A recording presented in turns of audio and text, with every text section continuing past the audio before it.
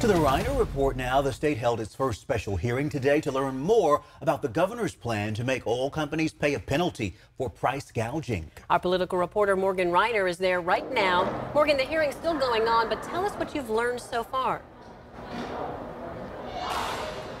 Today's hearing, which you're right is still going on, is strictly informational. No vote will be taken on the governor's proposal. In fact, there are still many missing details as to how the governor wants to go about punishing the oil companies. Like how much are they allowed to profit before they are penalized? So today, instead, we heard from the governor's administration, we heard from oil experts, and we heard from the oil industry on why they think gas prices were so high last year and the best course of action moving forward.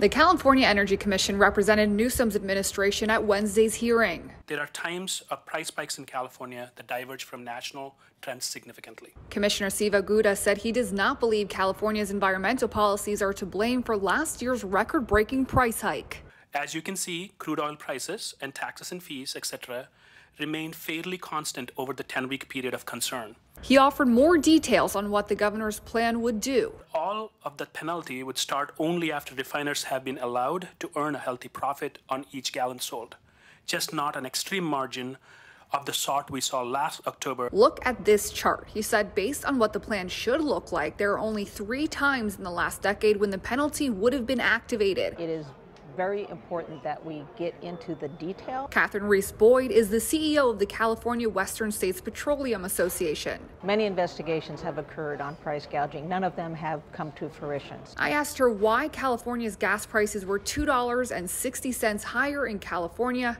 than the rest of the country. Certainly, it's all the environmental regulations, also it's the cost of crude oil. Cost of crude oil is the single biggest factor, and that, of course, we have no control over. She said none of this will help California with its supply problem. Under perfect circumstances, we'd like to produce it all here. Why? Because it's under the strictest environmental regulations in the world. And so when we can't do that, when we're limited on production of crude oil here, very difficult to get permits in the state of California to produce crude oil. There are no pipelines that bring crude oil to the state. So you would ask, where does it come from? It has to be put on a tanker. Vice chair of the committee, Republican Senator Brian Dahle, said it's hard to officially take a position on a plan with so many fill in the blanks. In the legislation that has been proposed, I haven't seen really anything that's uh, a, a determinant of what the legislation would look like. But he is open to learning more about this important issue. I want to make sure, uh, you know, that, that there isn't somebody taking advantage